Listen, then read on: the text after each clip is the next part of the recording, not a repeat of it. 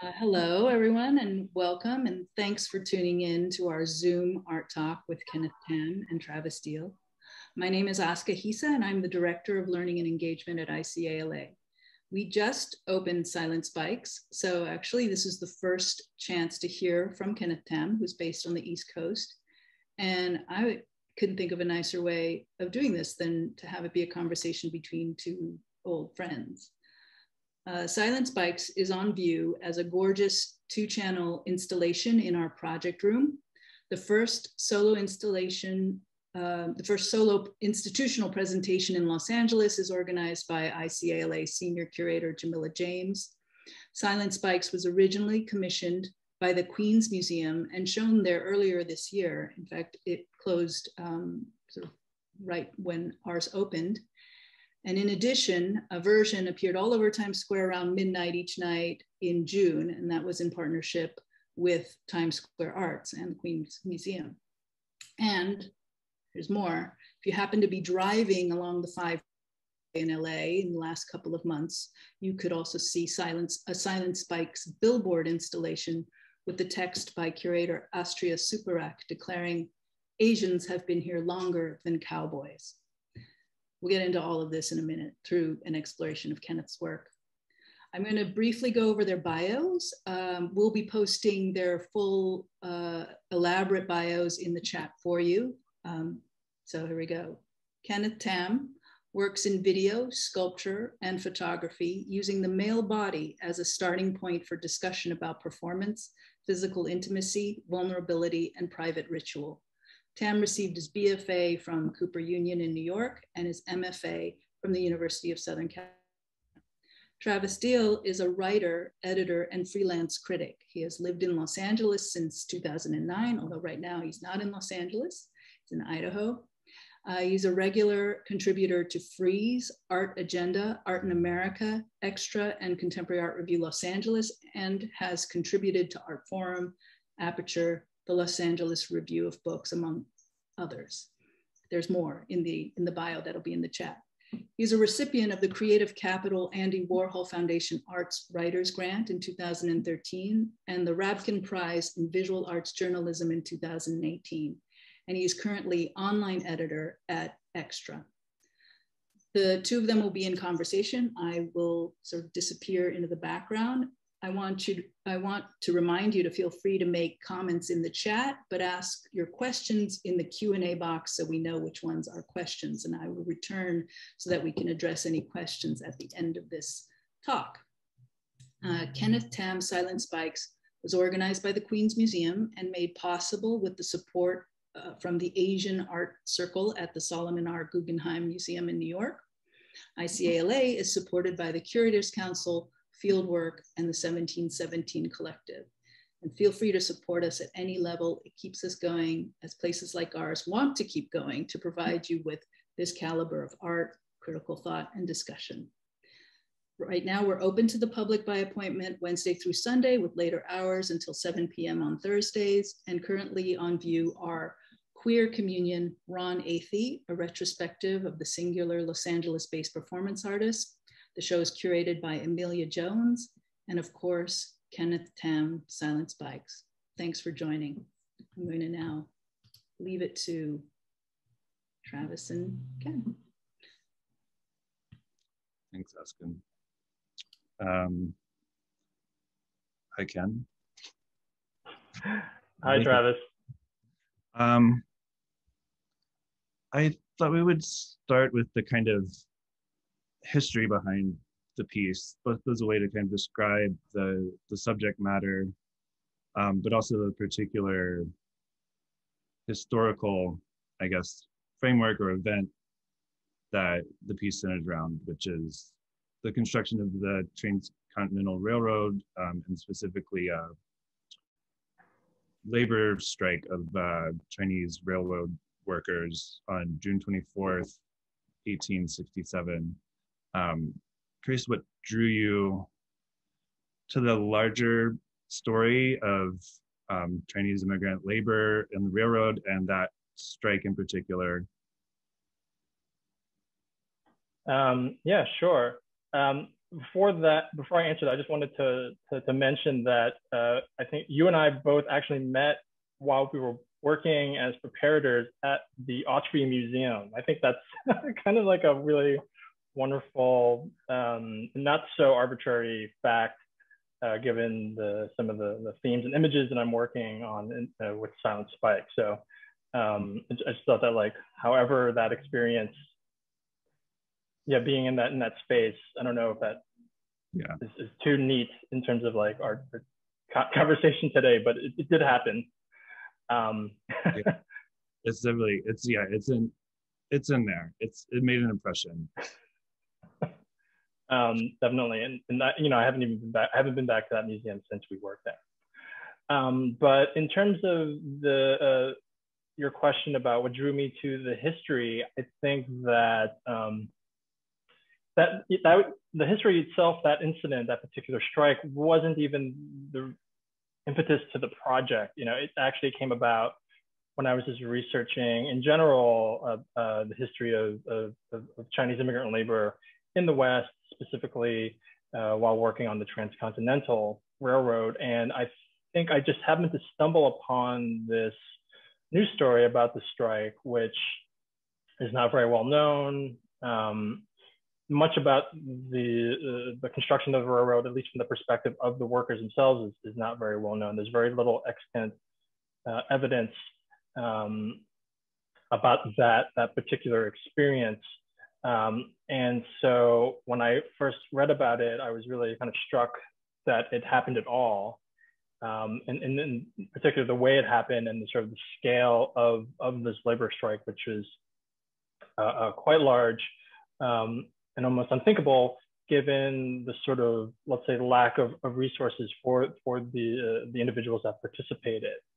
Um, so, you know, it was, it, was, it was a strike that happened um, along most of the entire line, um, uh, uh, uh about, let's say, like 25 miles um, of, of, of, of, railroad construction um, halted for about a week and um, it was one of the first instances of, of a mass labor strike, um, you know, in this country uh, at all.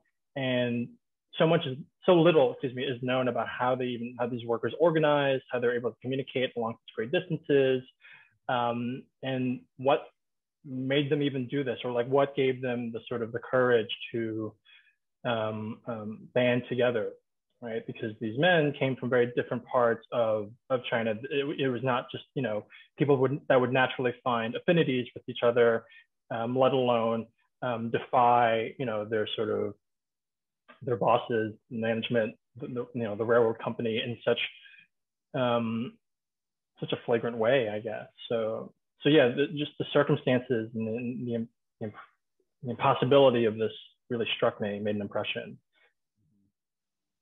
Yeah, I'm curious if you have a sense of how. I mean, you said it's not very well documented, but did you do you have a sense of how the strike was organized, or? I, I really don't. Um, from what I've read, you know, I could be wrong. Maybe there is um, evidence of this, but there was no, there's no like actual written documentation as to how um, these men even sort of, you know, communicated down the line that this was going to happen. Um, it was a total surprise to the railroad company, right? They didn't know, they had no warning this was going to happen. So however they planned it, they were able to, to keep, keep it a secret, um, which probably wasn't that difficult given the sort of the fact that they can communicate in another language.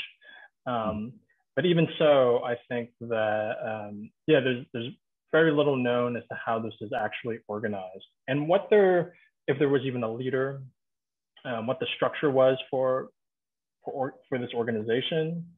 Um, they, you know, they were demanding better working conditions, um, increased wages, um, fewer work days, fewer work hours per day. Um, but, but other than that, you know, it wasn't necessarily clear what else they hoped to achieve. Mm -hmm. Yeah, I want to ask about the the narration and maybe just also the overall like lyricism of the video which to me, I mean, talking about this like lack of documentation, lack of written history about the events surrounding the video or the events that the video is kind of pinned to, um, that kind of absence of specifics relates in some way to the, the lyricism or the abstraction of some of the imagery in the video and especially the, the narration, um, especially, which is um, this kind of collective voice somehow. It's not really an individual or it blurs that that idea of like individual and collective. Um, so yeah, I wanted I wanted to ask about your thinking behind the narration. Um, the text is drawn from anywhere. Um, and what and, and how you arrived at that form, that form basically of the, lyric voiceovers interspersed. Yeah. Um, I mean, all of that whole component of this video is actually quite new to my work, right? Like, I think that I've, I've never sort of adopted a fictionalized or semi-fictionalized voice before. Um, the work has never really kind of gone into that kind of space. And even even the sort of the historical component is, is rather new. That's not something that uh, any of my other projects have really explicitly staked out or um, investigated. Um, but I knew that I wanted to bring in this history into the project, but not in a way that was in any way documentary. Um, it was not about, it, it wasn't necessarily even about like excavating this thing and making it more known as a kind of corrective gesture, like, hey, everyone should know more about this. I mean, they should, but that's that wasn't necessarily why I brought it into um, into the mix. Mm-hmm. Um, um, and I, I, think that the you know you point out the lyricism of of the voice of the voiceover, which I think was uh, was really important as a way to kind of um, maybe not to undermine the the the, the the, the, historical veracity of what the, the voice is saying, but to um, create a different way of, in which we would understand these these individuals, these, these more or less nameless individuals that history has only sort of um, acknowledged in, in, in the margins or in a kind of perfunctory paragraph about you know the railroad and its construction and things like that. Um, I wanted, um, I, I, knew I wanted to reference uh, uh, uh, this incident and one of the people that was involved in it, um, but in a way that wasn't just about them and their wasn't explicitly understood within a frame of labor, let's say, and, and, and toil and hardship, even though that is there, it's mm-hmm. inescapable. I wanted to, you know, really kind of give the audience um, a way to feel perhaps what it was like to be in that body, right? So much of the video is about a certain kind of bodily affect and um, and and um, it was an attempt to think about how these individuals are not just units of disposable labor, which is typically how they're characterized, um, but to really sort of give it a poetic um, you know, sensuous uh, a quality, which I was hoping to achieve through that voiceover. Yeah, yeah, sen- sensuous is is also a big, um, I mean, a, a good word. I want to talk more about the the tunnel in particular. I mean, there's so much like sensuality to the way the tunnel is shot and depicted. Um, but before before we go there, maybe you could describe who the four men are in the video. And um, I know in the past you've had different ways of recruiting your uh, participants and um, you know what, what, sort of parameters there were to the to the the call or the casting or whatever, um, and then just the way that they uh, just the way that you arrange their uh, I don't know what you want to call it activities or they're they're kind of like um, tasks or something. I don't know, prompts maybe. Yeah, there's prompting, there's tasking, um, activating. Um, yeah, then actually there were five five different men that I worked with throughout the project. Um, but they were found in, in kind of more or less the same way in which I've been working um, up until now. You know, Craigslist is still a go-to resource, but I was also using various um, casting websites this time, not because I was looking for actors. I'm never really interested in working with actors, um, but just because it opened up a larger sort of, let's say, applicant pool to, to draw from. Um, the shoot, you know, took place over a very long period of time. Not not that we were working often, but I knew that I needed the people that I was working with to, to commit to it. And so, on a very practical level, um, actors seem to have that kind of experience and I guess responsibility or to, or dedication or commitment to a project. And so, so I, I looked for, you know, so I was able to find uh, a good number of the participants through various kinds of casting sites. But at the beginning, I wasn't, you know, screening them based on their acting ability. Um, that was never really, that has never been um, something I've been interested in. Um, but rather, you know, I was looking for, for, for people that were just interested or even just curious about what I was doing and could make time in their lives for, for this project. Mm-hmm. So, so some of them, you know, and even if they were actors, they were just starting out. They didn't have necessarily that much experience. Um, I don't think I could ever work with an actor that was like, you know, really formally trained or had, had you know, come in and like expect to give a certain kind of performance. That's not what I'm interested in. Yeah, I guess also what I'm curious about is if there's a particular, um, if one of the parameters requirements was was, was the participants having a relationship, a personal engagement with the material of the project in a way that to me it like seems to go beyond some of the previous projects where the parameters like just being a man or something like that, right? And just sort of like um, men's group type activities. But there's um, this is kind of a more charged, more specific um, project. Yeah, for sure. There are definitely a few more boxes that they had to check in order to sort of qualify. Um, I mean, I definitely, you know, over the course of these different projects, you know, the, the, the, the amount that I can share with people, at, you know, at the beginning has, has grown. And, um, and so like, I actually like presented them with a whole sort of pre-production thing of like, this is what I want to do. And it's what it's about and where it'll end up. And, um, and of course, all of that sort of got upended when the pandemic started. Um, so, um, but but um, that's all still to say that I I try to prepare them as much as I could um, but in a way that again emphasized that there were no rehearsals, there's no script. Most of what you're going to be doing is improvised. Um, you're going to be working with people in ways that might, you know, make you uncomfortable or, or, or challenge you, you know, in, in, in, more or less harmless ways. But um, that's all part of, of what I'm trying to capture on camera. Mm-hmm. And um, yeah, they had to be game for that. And, and, certainly, you know, this project also clearly hinges on identity, right? So they had to sort of, you know, they, they these were individuals that were um, self-identifying as Asian American men, um, whatever that meant to them, right? Mm-hmm. Which you know that term is is quite nebulous and open-ended. So um, that's that's another sort of thing with this project. Yeah, I'm gonna try to find sharing my screen. I'm gonna try to find a shot of these guys. Right.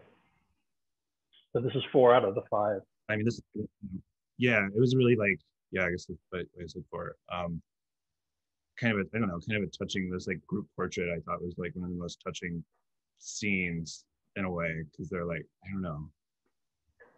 It felt kind of, I'm not sure what order you shot things in, but it felt like uh, con- a conclusion or some kind of, I don't know, like a, farewell or something like that. I mean, it's not at the end, it's not at the end of the the loop either, but um. Well, I, I can say that this was the second group shoot that we did. We shot this in February of 2020, so about a month before um, the pandemic started. Um, uh, it, it definitely wasn't a farewell, you know, when we were doing this, but perhaps, you know, in hindsight, there was a sort of I don't yeah. know, an active finality. Um, but but yeah, this was the second time they all got together, or at least you know, four out of five of them got together. Um, let's see.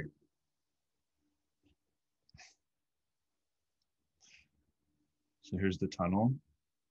I think mm-hmm. maybe this may be like one of the later, or like this is kind of the part where it starts to loop. Um, like reach the end of the tunnel in one spot, and they're starting over in the other spot on the other screen. Um, I guess maybe you, you could say a little bit about what the tunnel is, what how it's significant, but also um, I think the way it's used in the film as a not only a location um, and a, a, subject for the, the voiceover. They talk about being in the tunnel and the sensuousness of the rock and this passage from one end of the tunnel to the other. Um, also, just like structurally, the way the the video, the two channels are organized, um, is as a kind of as a kind of loop where pushing through this tunnel like over and over is the kind of is also a kind of structuring device. Um, yeah, I was curious to hear your thoughts about um, how how all of that like comes together, all those different ways of structuring the piece like come together in this it's like location, this one very specific. Uh, I mean, almost um, maybe haunted's too strong a word, but a very like significant like piece of ground. Yeah, I mean, um, the tunnel was always going to be significant. Uh, I did a site visit out there in uh, 2019. It's it's it's in the Sierra Nevadas, about um, it's near it's near uh, Lake Tahoe, right? So Northern California. Um, it's very accessible by car. Um, it's it's it's open. Anyone can can get to it. You park your car. You walk, you know, 15 20 minutes up a kind of a semi steep uh, uh, rocky uh, mountainside, and you're there. And um, as soon as I stepped in it, you know, I knew the historical significance, um, and there are you know some didactic texts that kind of alert people to the history of this. And there's many different histories there actually. Um, but um, as soon as I stepped in this particular stretch of tunnel, it, it was very overpowering, right? It's, um, yes, it's, just like a big hole in, in the ground. Um, but you know, you want you, you, you, if you know the history, then you realize that this was carved out without any um, power tools, right? It was, it was all done by hand and dynamite. Um, and it's a very, it's a pretty vast space, you know, um, definitely brought to mind um, certain land artworks, let's say like, like Michael Heizer's double negative or something, you know, it has a sort of, um, I don't know, this overwhelming bodily sort of response or, you know, that's, that's how I felt when I was in there. And, um, you know, originally I was actually going to not just film the tunnel, but bring my participants out there, fly them out there, and, and do something in the, in the tunnel. I wasn't sure what exactly, but I knew that we were going to shoot in that space. Um, unfortunately, that didn't happen because of, of the pandemic. Um, but I was still able to get this really kind of beautiful, floaty tracking shot through, you know, straight through the, the space. And for me, you know, I think the tunnel has a has a number of different sort of meanings behind it. You know, certainly it it, it sort of grounds um, the project with this sort of historical event. Um, and, and I should say that the, the, strike didn't happen just in the tunnel, it happened over 25 miles. So this is just one site in which the, the strike, you know, uh, occurred. Um, but I, I, I thought it was important to kind of understand that the struggles that these men were facing at that time um, should not be thought of as distinct or um, disconnected from, say, the experience of, of other Asian Americans in the present day. Um, I wanted to kind of connect these dis disparate moments in, in time and space and see that these things sort of function on a continuum and the, and the tunnel or the movement through the tunnel was a kind of a great visual metaphor for um, for yeah for for connecting different points in time. Um, yeah it's like past and i think at one point the voiceover even says something like this is i can travel through time or across time and space using right. This, it, it's a portal or something like that like yeah. Absolutely. The way in which um, a physical space, even devoid of any historical markings or whatnot, can can you know, transport you to something to sort of, um, I don't know, like when I, again, when I was in there, I had this very physical response um, that, that really took, made me sort of think about that history that really sort of, um, you know, made a very powerful impression upon me about these bodies toiling in here against this, you know, really against this sort of uh, impossible material to, to work with, this sort of grinding out, uh, hollowing out of this mountain, which just seems so incredible. Um, if you actually try to imagine the mechanics of that. Mm-hmm. Um, so there's that that quality I wanted to convey in the video.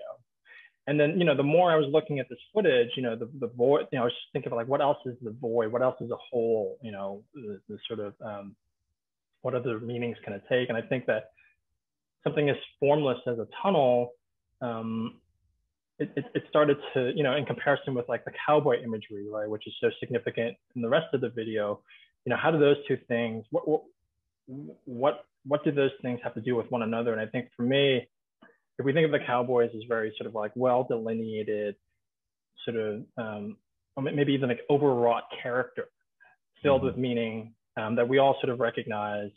Um, and then the tunnel is something that like has is, is, is formless, is shapeless, um, is not defined at all in a certain way, or at least when you're in it and you're sort of overwhelmed by this sort of black space.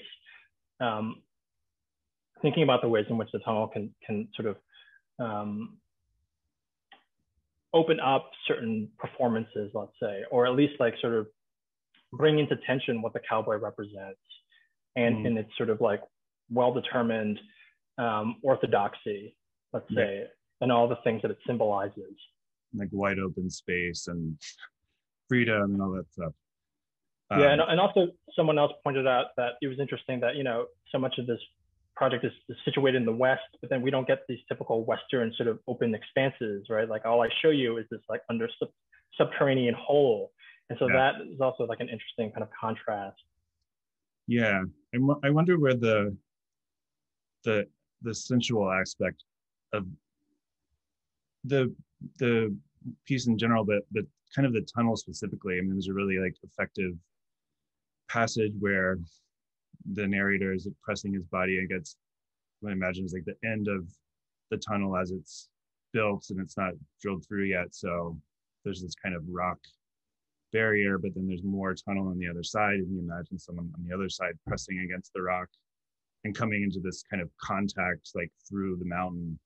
Um, I wonder if your own experience in the tunnel, like being there physically, um, imbued the piece of that like sensual dimension, um, and just the way. I mean, yeah, just just the way that that aspect of the tunnel, which again is not something you know you, you typically associate with like rock or like um, kind of engineering projects right? There's this very physical bodily like you know, sensual dimension. And then there's also like so many um point like sensual moments in the the acting or the um the performances of the participants too um, so I'm wondering how that, that how that came about and how you are kind of relating those those two uh, kind of areas of the, the video.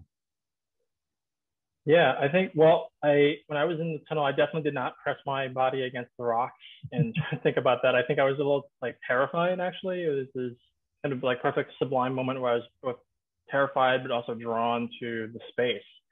And you know, when I was in there, when you, you know you get to a certain point, it's pitch black. You can't even see what you're stepping on. You can't really see what's in front of you except for that, you know, kind of pinhole of light at the other end. And so, you know, there is, yeah, for, you know, I, am someone that doesn't really like being in dark spaces like that. So it was challenging, but I, at the same time, like it, you know, it, there was a kind of attraction I had to, to the awesomeness of the space. Um, and then also, you know, when I was safely back home and thinking about the voiceover, I was also trying to imagine, well, what does this space feel like when it's filled with people, right? These these these laborers. It wasn't just one solitary figure hammering away. It was it was you know hundreds of people perhaps at any given point, um, all crammed together in the space, perhaps quite dark. Um, working, you know, with, with sort of this single focus determination and trying to imagine, you know, again, the, the, the effective experience of, of, of, that kind of situation. And, and not necessarily to explore the, the erotics of that, even though I think that certainly is a part of the project, but just trying to articulate that, that experience um, and how, how that could also complicate um, the way we, we understand or the, the identities of these individuals um, and how we can perhaps complicate ideas about labor. Mm-hmm. Um, yeah. And the way also that labor kind of complicates the idea of the individual. I mean, the voiceover mentions, you know, the strike failed as a as a strike as a labor action, but it also it succeeded in creating this new this like sense of collective identity um, along along the line. Um, yeah, which again, I mean, the cow the cowboy as a figure is sort of individual, individualistic or something.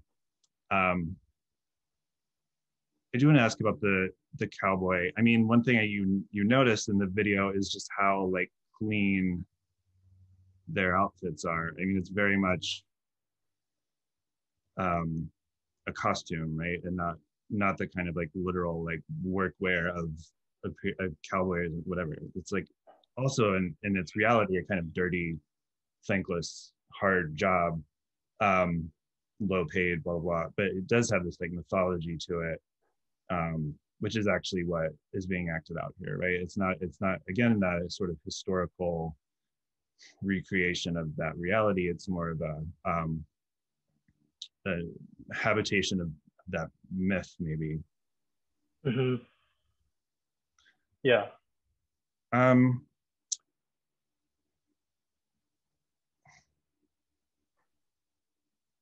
I want to ask about like this this shot in particular. Maybe you could just talk about um, what the setup. I mean, there's several shots where the participants are, or it seems like you've asked them to, to dance like they're on a bronco or a bull or something like that. So there's very like um, kind sort of lyrical like movements um, where they're miming being on a yeah like riding in a rodeo or something. Um, but then there's this one shot in, in particular where um, you have this guy behind the guy in the back is um, looks like he's he's making a motion with that looks like he's pumping like a hand cart, like a rail railroad cart. Um, and there's two there's sort of two versions, right? Like one where you've zoomed out and you can see like the mechanics of this like sort of bull bull machine and one and then other shots where or another sequence where you can't and it's zoomed in. Um so yeah i wanted i wanted to ask if you could just talk about the setup of that shot and in particular why those two framings and how you see those two framings operating like um sort of against each other like informing each other yeah, um, so the device is drawn from uh, rodeo bull riding culture. Let's say it's, it's called a, a, drop barrel, which is basically just a homemade contraption to you know simulate being on on a bull. Someone, sometimes it's one person, maybe sometimes it's like multiple people, like sort of uh, uh, uh pushing the the lever uh, behind you. And um, that was something that I, had, you know, the whole bull riding culture was not something I had any familiarity with, but um, I sort of stumbled on that um, at some point in my YouTube research, and I was just really drawn to the movement. I was really drawn to um, not the movement on the actual bull, which is you know very violent, um, erratic, and and quite cruel, really, right? When you see that, but the way in which uh, uh, uh, when the men are practicing, and it's mostly men, there are some women, but it's, it's a majority. You know, it's a very um, intensely masculine kind of activity. Um, when they practice, when they build these things, you know, and there's something about this movement um, that I thought was quite beautiful, actually. Um, uh, you know, certainly the the way in which both both men have to sort of work in tandem to to to, to you know work the the drop barrel of this contraption, but even you know having to like move one's hips to be able to counteract the force of the bull or the barrel in this situation. And I knew I wanted to sort of incorporate that movement somehow, um, but to reveal again these more, you know, sensuous qualities about it um, in some ways. So I, you know, I think that uh, ended up with these two particular framings. And the reason why I, I did one that was slightly wider and one that was more close up was um, I thought the wider ones, you know, those are interesting. This one, for example, with Theo, um, was interesting to see the how you know to get a sense of the mechanics, um, but it also felt a bit too heroic. Um, even though there is a kind of absurdity to it, I think that's something that the whole project sort of plays with. There's a certain humor, self-deprecating humor. Mm-hmm. Um, but the one with Tyler, the one that's more punched in, um, was was you know definitely had a different affect because when you see it, you're not exactly sure what, what's happening there. Um, and certainly uh, Alfred, the person behind him, is doing this motion, and there is a definite like sort of homoerotic kind of pumping action going on there. Um, but then you, you you watch Tyler's face, right? I think this shot allows you to see his face more, and he, you know, there's a certain kind of uncertainty that he goes through um, during the sequence, which isn't that long, would be like 20 or 30 seconds, where the camera holds on him. Um, there are moments where he feels, you know, it, it, it, you're not he looks very uncertain as to what to do. He looks uncertain as to like what his face should be doing. I'm not giving him any direction, so he's just really on his own. Um, and there are moments where it looks like he's either grimacing, or maybe you know there's it looks like it's it's pleasurable. It, it's not quite clear, and it runs this whole spectrum mm-hmm. of of um, facial expressions, which I thought was really interesting. Um, and also there's just like the floppiness of his limbs. Like he's clearly you know not um, let's say proficient at whatever it is that he's doing and i really like that. You know i like the, I, I like that the way in which this gives access to a, a sense of vulnerability or at least you know uncertainty. Um, and he does this you know in a number of instances throughout the video which i really appreciated. Yeah i'm glad you mentioned uh, his his facial expressions in that because i i no, noticed that as well. Yeah the range from like pain to pleasure but it, but never for very long as if he's not sure what he should be feeling and is sort of independent of what he is feeling or something like that. Um,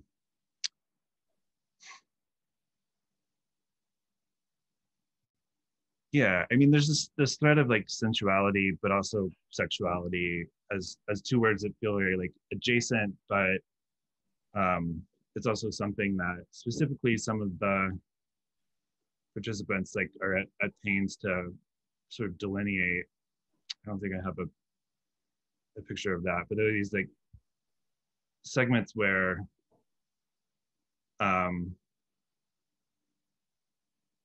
you there's a there's a question that's been asked off camera, but you don't hear the question, you just hear the answer, and it's the the men describing what they think, uh, what you know, I gathered like what the definition of sensual is or what is sensual, um, and they most of them um, kind of define it in relation to sexual, um, which seems again like a theme, you know, from from the tunnel to the, the bull riding shots. Um, yeah, I'm, I'm, I'm curious to hear your thoughts about that that line or that boundary or the the way that you're um, sort of blurring it intentionally through these different um, fantasies, I guess, like um, or or using using the myth of the cowboy to kind of push at that boundary, or using this little artificial situation of um, acting in a video to like push against um, where sensuality and sexuality uh, shift from one to the other. Yeah, I think for me, you know, in, in, in, this project specifically, I try to use this word sensuous, um, which is, you know, actually different from sensuality. But, you know, um, either those two things is a way to complicate how, not only how these men are represented, you know, which is, you know, a, that could be like a whole other topic of discussion, the representation of, of Asian American men in, in popular culture, but also in the way in which um, these terms might help, I don't know, um, complicate identity in general, or you know, certainly the, the performance of masculinity, which I think so much of it depends upon an alienation of of an individual from their own body, from their own bodiliness, I guess. Um, the body, the physical body, um, and the pleasures perhaps that are derived from it as somehow off limits or, or you know, taboo in, in, in, a certain way, or at least highly delineated.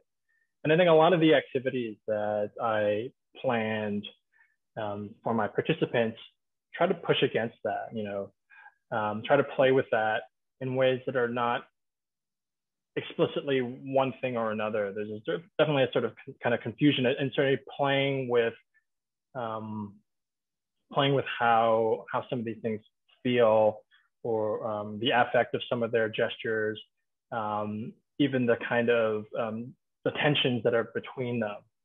Um, you know, I had someone when they were watching these scenes where the two men are speaking to each other. Uh, he told me that it felt like an, uh, uh, someone's like first Tinder date or something, right? Where this sort of awkward moment where two people are meeting each other in person for the first time and just kind of uh, uh, asking each other these sort of kind of boilerplate boilerplate questions and, and getting these somewhat rehearsed responses. Mm-hmm. And and you know, so much of, of, of all my work, or at least you know, the more recent video projects are about playing against um, the kind of scripting that we all sort of um, uh, uh, are socialized into, let's say, um, the way in which we're, we're, we're always performing or we're always rehearsing. Um, and I think, you know, the, the cowboy definitely represents one kind of, of, of scripting for, for a normative, normative masculinity. And so all of these activities are, are, are done in, in, in a way to kind of play with that and push it into a different kind of space or a different kind of affective register, either on their own or, or, or with another person. Mm-hmm. Um, yeah, the, the, the cowboy thing is, is interesting um,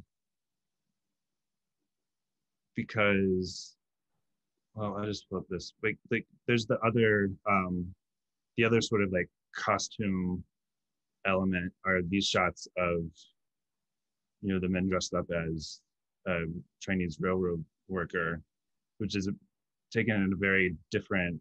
It's a very different. Um, they're they're kind of static shots. They're way more atmospheric. There's no talking. Like sometimes they look at the camera, sometimes they don't. It's a very different, um, a very different feeling to those those moments. And I wonder if you could speak to the to that to that contrast and sort of how um, I mean, the cowboy is, is this quintessential Western figure, but not necessarily like, um, you know, feels, to, you know, in, in that kind of myth feels a little different from, feels detached from um, the construction of the railroad, right? Like they mm-hmm.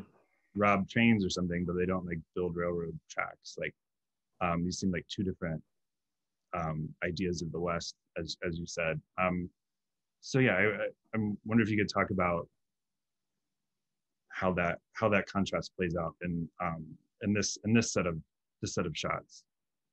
Yeah. Um, so these shots were uh, uh, of Alfred, one of the participants. There's only one participant that dresses up as a railroad figure, and mm-hmm. this is the actually the very last thing that I shot. Um, and I was actually, you know, kind of hesitant to include this footage. You know, on the one hand, I want I thought that because you know my original idea was to never include an image of a railroad worker you know because i feel like we've already seen so many of these images or at least the images that we have seen are always sort of in this way where uh, uh, the the these men look very sort of pitiable you know they're always in tatters and and um, mm-hmm. there's a mm-hmm. sort of um, intense not just objectifying of them, but also this sort of intense disempowerment, right? That gaze that is that is uh, um, that is assumed between you know the photographer and the, and the subject is is really um, yeah one one of disempowerment I felt, and so I was I was really nervous about um, including an image of the worker at all. I thought I could just use the that voiceover and the, the tunnel and these other things to kind of suggest that uh, without ever having to explicitly describe this figure. But at the same time, I thought that, you know, there was something important about just seeing this person, even though, again, it's, it's another performance, right? It's one of one of my participants is dressing up. Um, there was something important about seeing this this this this person in contrast to all sort of the cowboy stuff. Um, a character that deserves sort of dignity or respect. Um, but also i don't know I, am hoping that in the in the video anyway that it has a kind of emotional weight that again we, we would normally never sort of apply uh, uh, to these individuals when we see them you know represented you know if at all um, so maybe this is the one where this is one instance where it is very much about um, a calculation about representation and, and, wanting to include something that would otherwise um, be swept away or I don't know, um, continue, like an image that would continue to, to, speak to a certain kind of disempowerment. Um, I really wanted to create like this very dreamy sort of emotionally laden um, association with this character mm-hmm. versus one again that was just about pity and um, and lack of agency, let's say.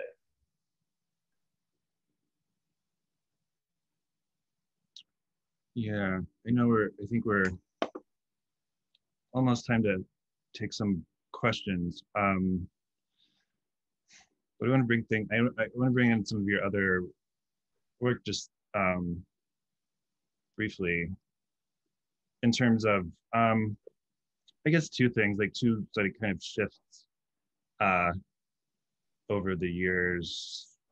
Uh, this, this piece, the sort of Craigslist pieces where you were um, putting yourself in these situations um, over over Craigslist.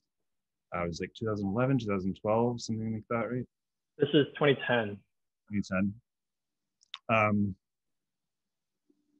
so I mean, there's certain like difference in production values, but I think the main the main thing is like the difference between you putting yourself in these situations and then you know gradually in different you know um, more recent work stepping behind the camera and kind of directing groups of other men even though the dynamics you know these questions of like intimacy and touch and like male relationships um, i mean in this piece in particular um, but also maybe you know picture one with your your dad. Um,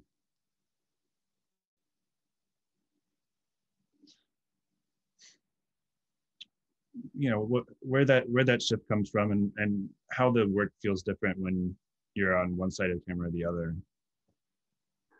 yeah i mean i get i get asked this a lot and it is a, it is a big shift um, i will say that i, I think you know um, actually beginning with that earlier image of, of the, the box encounter, I felt that, um, you know, these early Craigslist works were about putting myself in a, in a, in a situation where I was very vulnerable.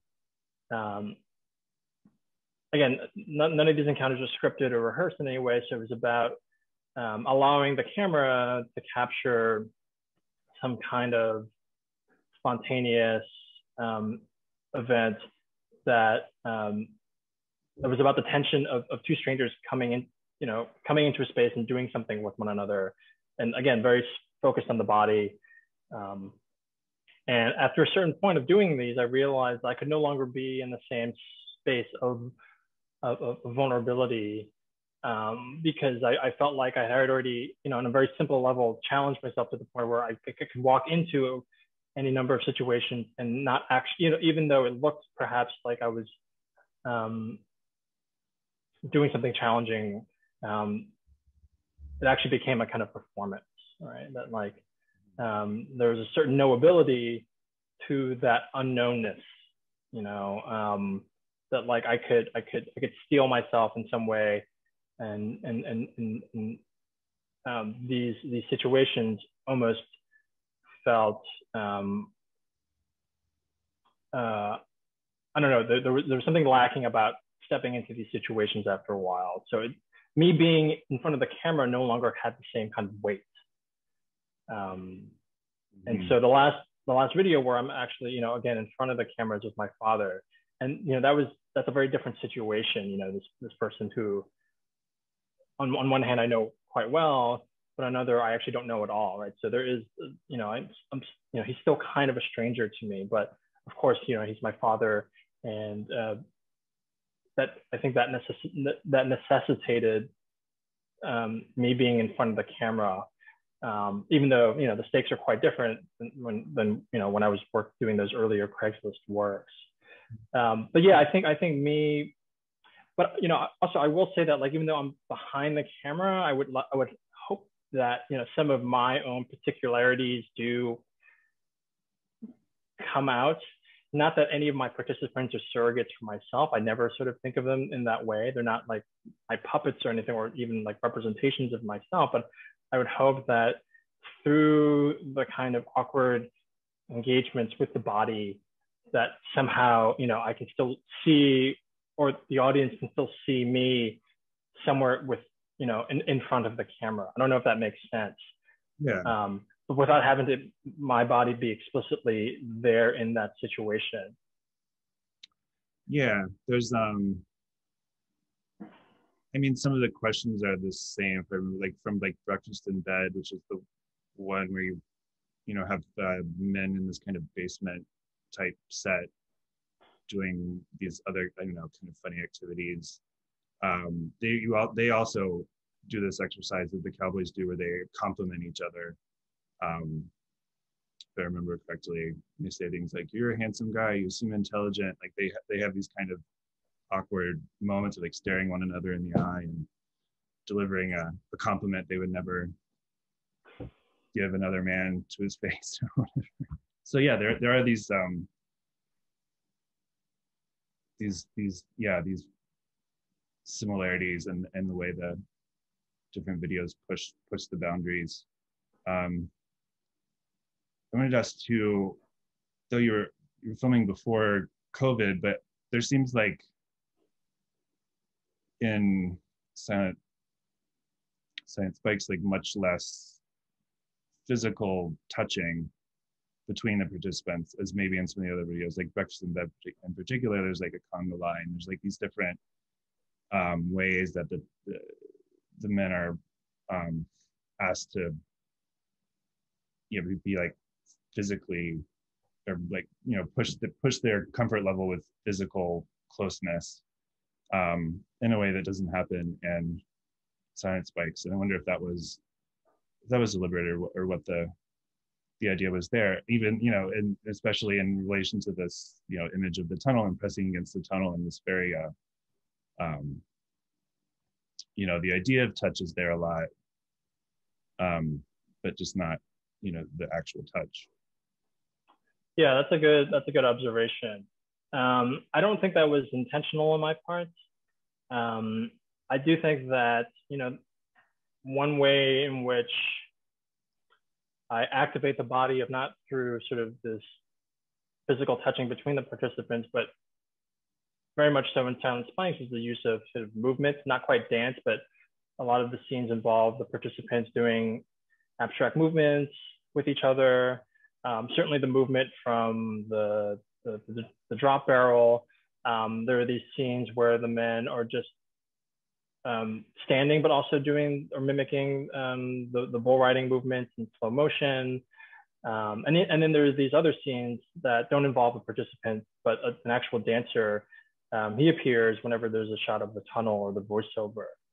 And, and that's a, a whole other thing that I, I really was interested in incorporating um, semi unchoreographed or semi choreographed movement again as a way to bring in as a way to activate the body um, to think about the sensuous think about perhaps how movement can can uh, uh, activate um, solidarities let's say mm-hmm. um, or even just you know again playing with the cowboy and how um, how these again these these hyper masculine movements can be made to uh, represent something else.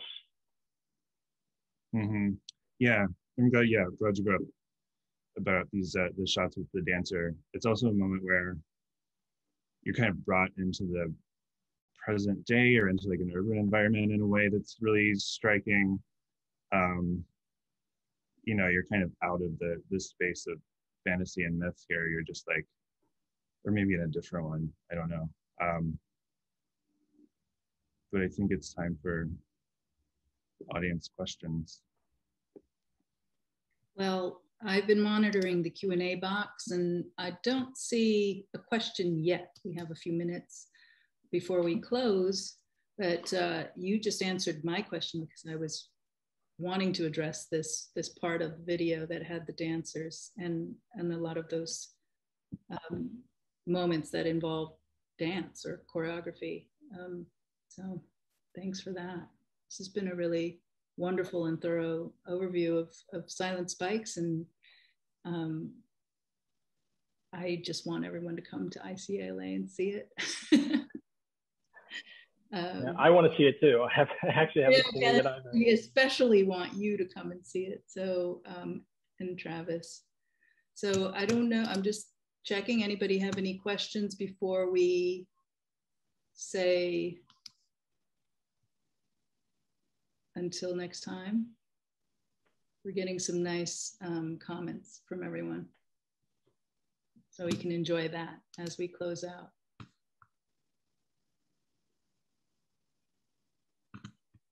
Okay. So Travis, thank you for collecting all of those stills um, to illustrate this conversation. And um, we will have welcome everyone to ICALA and um, hope to see you both soon back in town. Thank you all for coming. And this, somebody asked if this is recorded. It is recorded and it will be posted soon. Thanks. Thanks everyone. Thanks Travis. Thanks Asuka. Good, good talk. Good to talk. Yeah. Good seeing you, Travis. Yeah, you All right. Bye, y'all. Good night.